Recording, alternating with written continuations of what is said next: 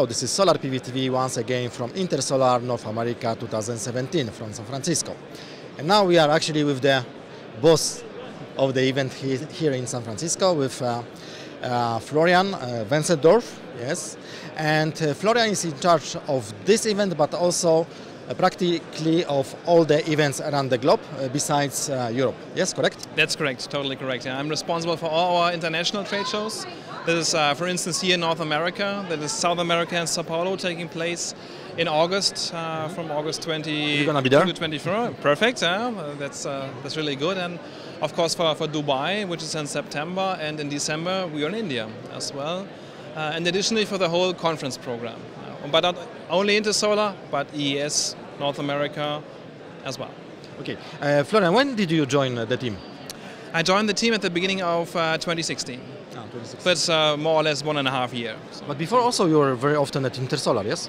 that's correct. Uh, my former position was that I was the managing director in VDMA, the German Engineering Federation for photovoltaic equipment. Ah, so you have quite a good experience eh, in the solar industry. Yeah, I would say so. Okay, Florian. So uh, yesterday we had a great opening ceremony of the of the of the conference, and today we started the show. So could you tell us first, you know, uh, how is Intersolar in terms of the numbers? And did uh, this year's event, which is also 10th anniversary, so congratulations. Thank you so much for that. Yeah. uh, did uh, the event, uh, let's say, meet your expectations? Yeah. I would say so. So, of course, we, we do not have final numbers. So, we are more or less uh, in the middle of the first day for the exhibition.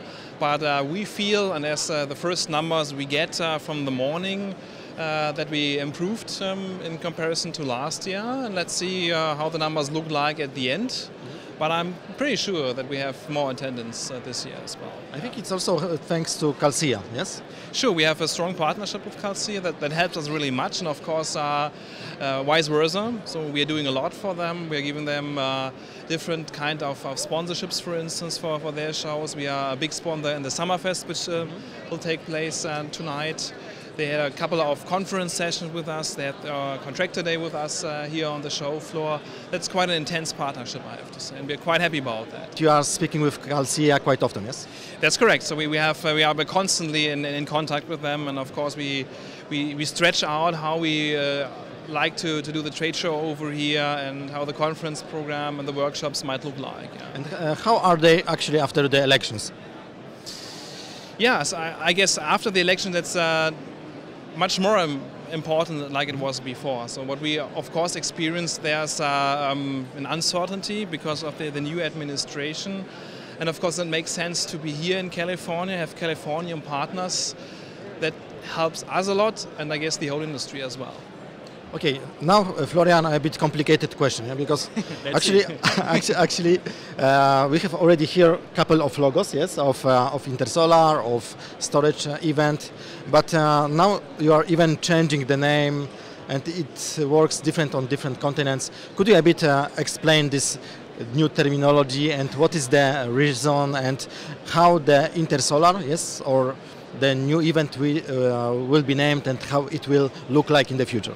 I try my very best. I know that's uh, that's a little bit complicated. So the idea is that of course uh, things have changed. So when we are when we have a close look on how the energy landscape is looking at the moment, especially in in Germany um, slash Europe, but also in other countries like the United States, we see that uh, it is not a good idea to focus only on on solar.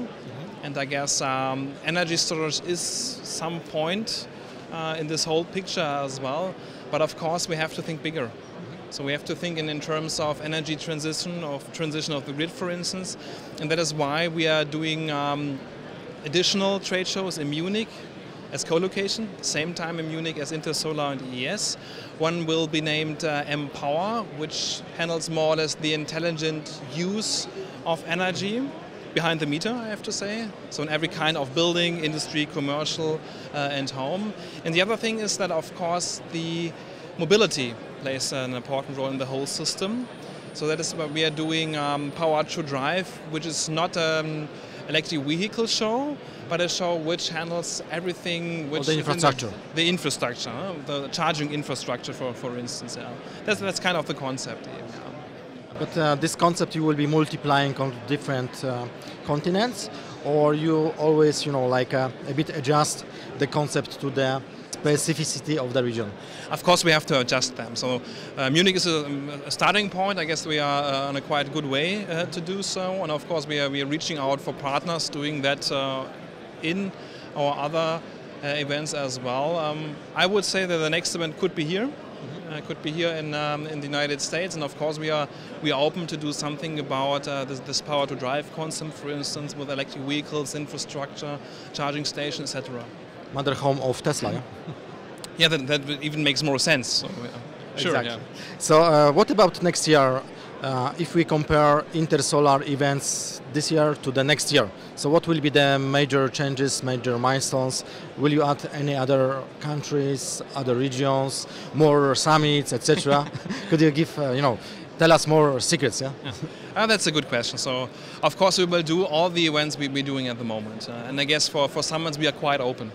Uh, what we will do uh, next year is uh, for sure um, an Intersolar Summit at the East Coast. That, that makes sense. I guess that, that helps the event here. And of course, America is so big, it, it makes sense to have something at the East Coast as well. And of course, we are thinking uh, that it makes sense to do something additionally in, in the energy storage um, direction. That, that could be a possibility as well and let's see which other places worldwide may really make sense. So we, we're doing Tehran uh, this year as well, and um, we are open for, for every yeah, new market or, or, or, summit possibilities in the next years. So let's say that uh, Intersolar team is anticipating, yeah? not sure. only just you know running around, but uh, really anticipating to the transition. Yes. That's correct. That's definitely correct. Yeah. Okay, so thank you so much, Florian. I have to thank you for this opportunity. Yes, and uh, thank you so much also for um, giving opportunity for Solar PVTV to having this uh, sexy stand. Yes.